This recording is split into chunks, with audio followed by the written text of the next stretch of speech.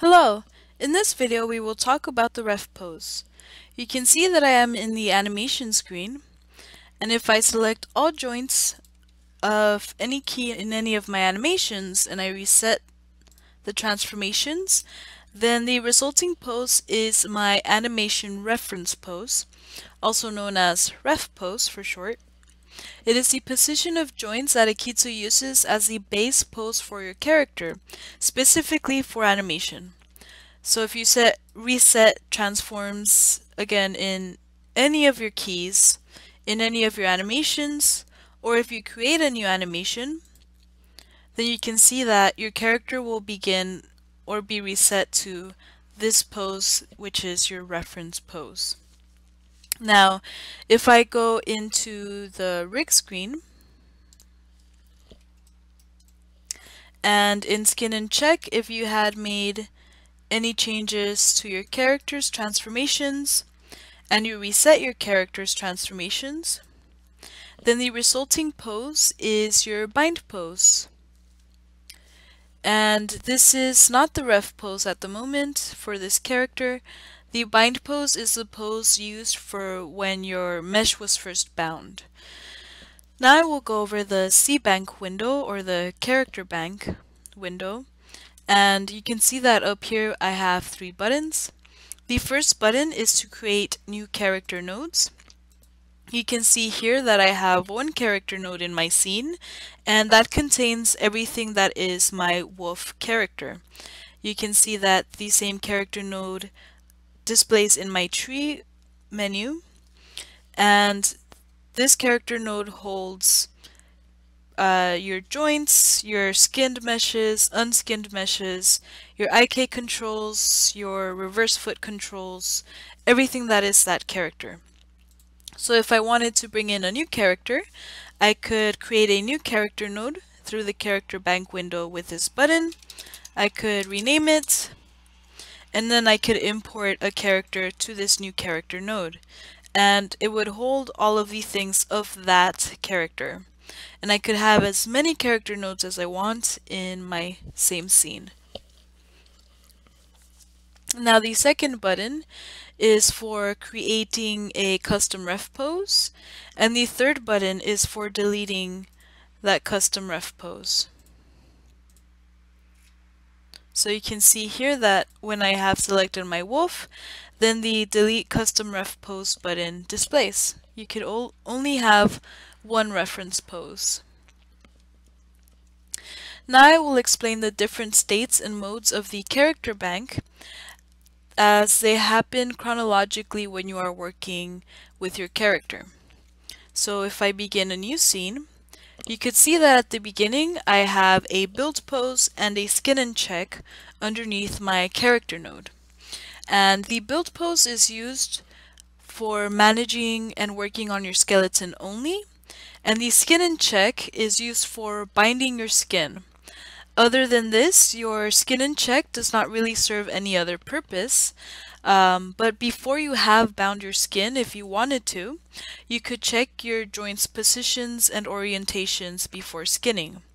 So if I go into my wolf scene and I remove all of the skinning, you could now see that my character node for my wolf has changed back to the beginning. So it is in build pose and in skin and check.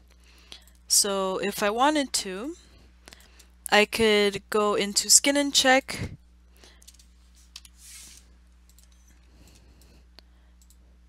and I could look at the orientations of my pivots and make sure that they are working the way that I want. Now if I skin my character again,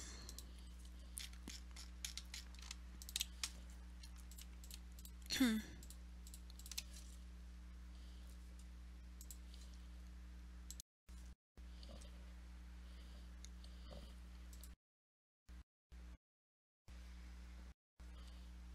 you could see that once you skin your character, your build pose has changed to bind pose and it is the pose that remains in the state for editing skeleton, pivots, and now it is for creating your IKs and your reverse foot controls. Also, once you bind your skin, you now have a ref pose that is created uh, by default and your bind pose is your ref pose. You can see here that I have the ref pose icon next to my bind pose. And this means that when you create animation keys, they are recorded as differences in transformations to this ref pose, which is my bind pose at the moment. So if the reference pose moves, then all of the animations move in the same way in translations. And then again, you still have your skin and check once you have bound your skeleton. And this mode remains the state to manage all your skinning, as well as to check the final results of your character. So you can see that if I click on any part of my mesh, that the mesh becomes yellow and that is displaying my skinning. Whereas in build pose, it does not display the skinning. And if you wanted to, while you are working on your skinning, you could pose your character and you can work on the skinning while your character is posed in Skin and Check. So if I post my character, I could add new weights to that character. And so this is good for working on things like the arms, if your character is in T-pose, because you tend to get a lot of uh, squashing and stretching in certain areas of the body there.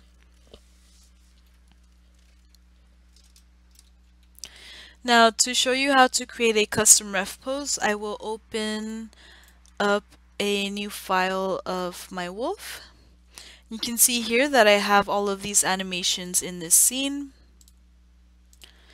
So if I wanted to create a new ref pose, I would go into skin and check and then I would just pose my character to something that felt more natural to this character.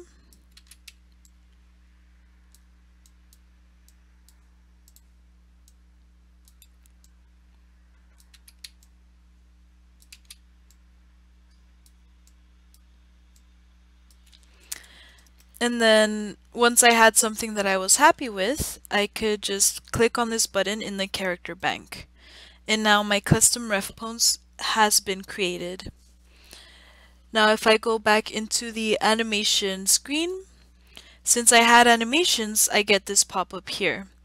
And this pop-up is asking me if I want to convert my animations since I have changed my ref pose. Uh, this is for if you convert animations to make the adjustments to all of your pre-existing animations to uh, now have the new ref pose information. So you have three options, which is convert animations to save your animations. You could choose to not convert your animations and you could return to your previous ref pose. So if you return to your previous ref pose, then your changes that you have now created with your ref pose would be undone. And so this means that my character would go back to having the bind pose as the ref pose. Again, if I convert animations, you can see that my character animations have been saved. And if I create a new animation, then my character begins in the custom ref pose that I have just created. And now I will control C back to the way my character was with the bind pose as the ref pose. So the animations have also changed back to um, have the same translations that they did when the bind pose was the ref pose. And I will create the new ref pose. And now I will show you what happens when you don't convert your animations. You can see that because my ref pose had only made changes to the arms, the arms are completely broken. And so I have now broken my animations.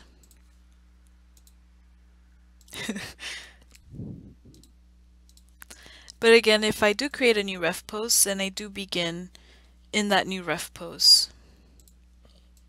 So you might want to make sure that you convert your ref pose so that you keep your old animations. Later on, Akeytsu will allow you to modify or kill your reference pose without killing your animations. You could also modify your skinning or your skeleton without damaging the ref pose. Another big benefit of the reference pose is that external characters can be imported with custom reference pose different, different than the bind pose. For example, for mocap, Akeytsu will be able to import it and support it.